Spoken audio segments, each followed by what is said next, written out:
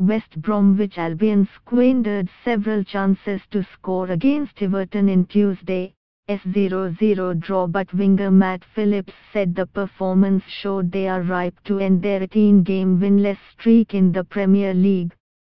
West Brom are 19th with 15 points from 20 games, 2 points ahead of bottom-placed Swansea City. They started the season with back-to-back victories in August but have not won since.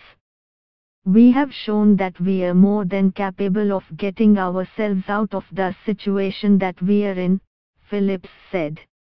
I think you can see from the performance that we were really good and we created a lot of chances. Sooner or later we are going to score one, two or three and win the game.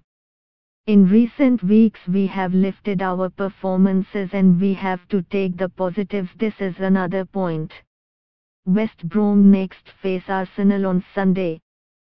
For all the latest sports news, download Indian Express app.